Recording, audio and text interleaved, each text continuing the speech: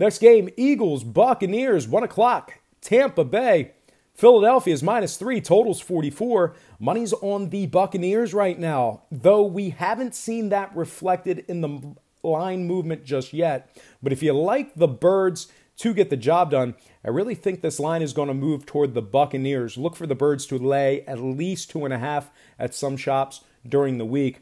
And if you like the Bucs to cover in this one, you're kind of in no man's land right now. You know the Eagles are a great team, but you're just not sure where this line is going to move. That said, though, I don't think we'll see this one get much lower than two and a half and much higher than three and a half. Betting trends aside, though, should be a beautiful day on the Florida Gulf Coast, 80 degrees and mostly sunny by kickoff, 9 mile an hour wind toward the western boundary.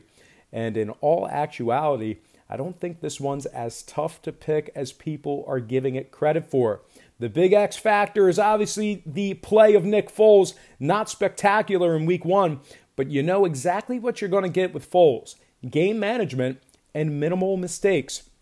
Now, look for Philadelphia to spread it around both on the ground and in the air with their trio of running backs. Also, look for Malcolm Jenkins to step up in run defense on the other side of the ball as well. Now, Tampa Bay is going to be known for an air attack after week one, but the X factor will be the run support when they keep it on the ground. The Birds have to shut them down on the ground. They normally do. Now, when it comes to the numbers, this Philly team is 4 and 1 ATS in their last five games, 16 and 2 straight up in their last 18.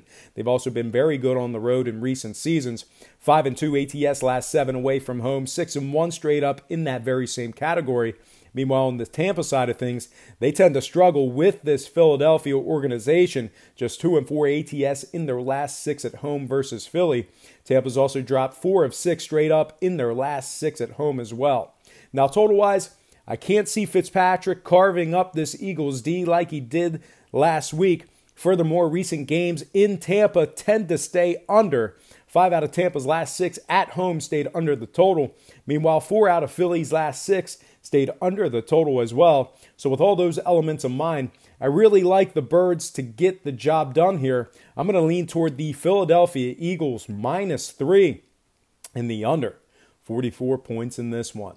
Next game, Lions 49ers. That's 405 San Francisco. And before we get into the numbers, we got a ton of injuries on both squads. Now, Stafford's banged up a little bit for the Lions. He's probable. Blount's banged up with a knee, injury. uh, knee injury. He's questionable for Sunday, uh, Sunday.